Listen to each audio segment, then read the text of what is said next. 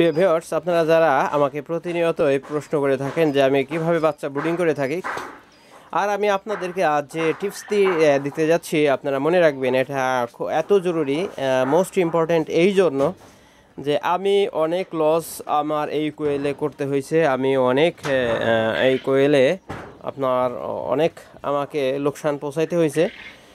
তো আপনাদের যাতে এই লোকসানটি না পৌঁছাইতে হয়, সেই সেই লক্ষ্যে আমি আপনাদের সাথে ভিডিওটি শেয়ার করতে যাচ্ছি। কারণ আমার যারা সাবস্ক্রাইবার আমার যারা ফলোয়ার তাদের জন্য মূলত যারা, যাতে আপনারা ভালো মতো করতে পারেন, সেই লক্ষ্যেই মোটা, মূলত আমার এই ভিডিওগুলো আপনাদের জন্য আপলোড করা।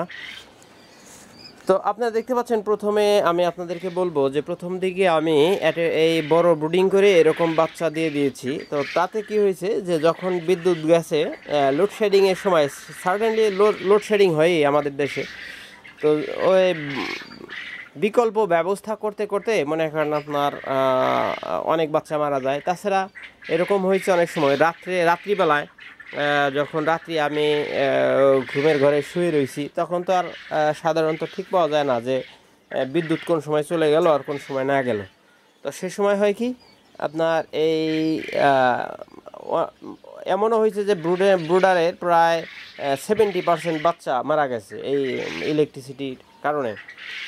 তো এখন আমি যে সিস্টেমটা নতুন চালু করেছি, এই সিস্টেমের মধ্যে আলহামদুলিল্লাহ যে এরকম মর্টালিটি এত কম মানে জিরো টলারেস্টে বলা যেতে পারে।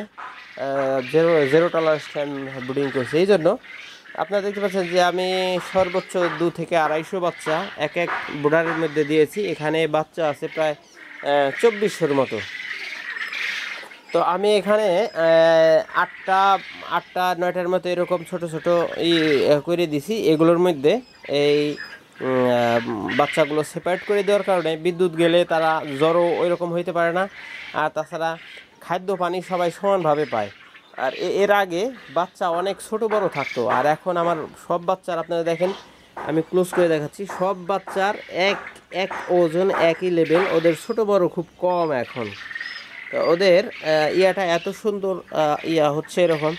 তো আপনারা যারা আমার ফলোয়ার আপনারা যদি এভাবে ইয়া করেন তাহলে নিঃসন্দেহে আমি আপনাকে গ্যারান্টি দিতে পারব যে আপনি এই কোয়েল সেক্টরে অন্তত লস করবেন না। যে লসটা আমি দিয়েছি, অন্তত সেই লসটা যেন আপনাদের না দিতে হয়। সেই লক্ষ্যে মূলত আমার আজকে আপনাদের জন্য এই ভিডিওটি আপলোড আর বিষয় হচ্ছে যে আপনারা পানির কোয়েল পাখি, আপনি জানেন যে মাত্র পাঁচ গ্রাম করে ওজন হয় এই কোয়েলের বাচ্চাগুলো। তো এই পানির যে ব্যবস্থা আপনারা দেখতে পাচ্ছেন যে আমি আগে একটা তুষের উপরে একটা কাঠ দিছি।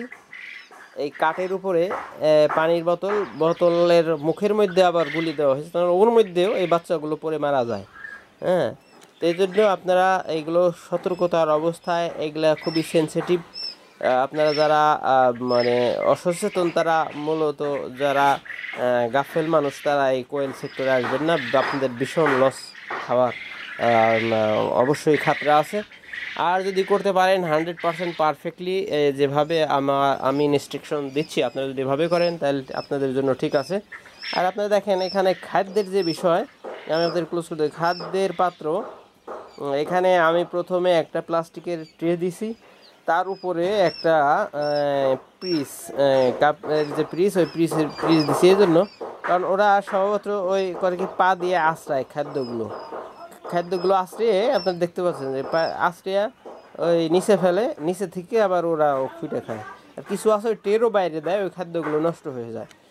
তো এই জন্য আপনার খাদ্যের প্রতি অবশ্যই সচেতন সচেতন হইতে হবে যে আপনার খাদ্য যাতে কোনো মতেই অপচয় না হয়। আর একটা বিষয় যেটা আমি আপনাদেরকে এখন বলতে যাচ্ছি যে লোডশেডিং হলে আমি কি করি? আপনারা দেখতে পাচ্ছেন যে এখানে আমি একটা চুলা রেখেছি। এটা হচ্ছে গ্যাস গ্যাস চুলা বিদ্যুৎ গেলে আমি ওই যে গ্যাস সিলিন্ডার, এই গ্যাস সিলিন্ডার দিয়েই আমি মূলত এখানে আগুনটা জ্বালায় দিই। আর এই যে কাপড় দেখতে পাচ্ছেন, এই কাপড় দিয়ে চতুর্পাশে এরকম ঢাইকা দিই হ্যাঁ? তো দিলে আপনার বিদ্যুৎ যে সময়টুক থাকে থাকে না, এই সময়টুক খুব ভালো ব্যাকআপ করতে করতে হয়। আর একটা বিষয় আপনি দেখতে পাচ্ছেন যে আমি একটা বোর্ডারে সেন্সর এই যে সেন্সরটি ডিজিটাল সেন্সর এই সেন্সরটা আমি ঝুলাই দিছি। যাতে আপনার আমি তাপমাত্রা বুঝতে পারি সহজেই যে ওদের তাপমাত্রা কম না বেশি, লাগবে না লাগবে না, হুম? এটা। এই যে হচ্ছে সেন্সর আপনারা দেখতে পাচ্ছেন যে একেবারে রাইট ছত্রিশ পয়েন্ট সাত আই মিন একটু বেশি আছে, সাত ডিগ্রি, সমস্যা নাই। ছত্রিশই আছে তাপমাত্রাটা, খুবই পারফেক্ট